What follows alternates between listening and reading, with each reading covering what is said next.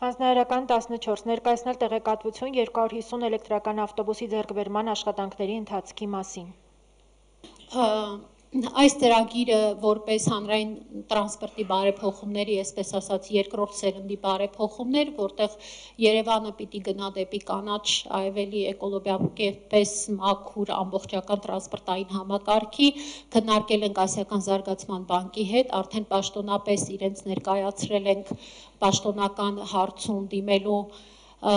ֆոնդի, որով հասանելի են դառնում մեզ 1 ու 2 միլիոն դոլարի ԱՄՆ դոլարի տեխնիկական աջակցություն եւ այդ աջակցության միջոցով ամբողջական ծրագիրը կպատրաստվի բանակցության կամ իրենց կամ նաև այլ դոնորների հետ համագործակցության շրջանակներում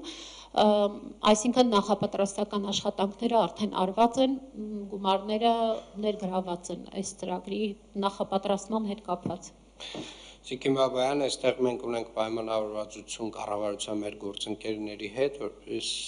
որ որպեսզի մենք պետք է ներկայացնենք ֆինանսական հոսքերի, հետագա հոսքերի կանխատեսումները եւ ըստ այդմ պետք է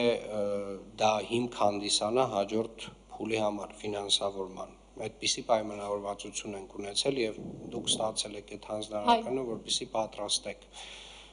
Այո, աշխատում ենք տրանսպորտի վարչության հետ համատեղ, պատրաստելու ենք եւ նաեւ նշեմ, որ կառավարությունից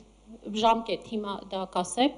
կառավարությունից ստացել ենք հանձնարարական, որ հանրային ներդրումային կոմիտեների հաջորդ շրջափուլը տեղի ունենալու մինչև դեկտեմբեր, մեր պլանավորմամբ ուզում ենք հոկտեմբերին մեր բոլոր ծրագրերի մասով ներդրումային առաջարկներ ներկայացրել էկոնոմիկայի նախարարություն։ Շատ բարի, շնորհակալ եմ։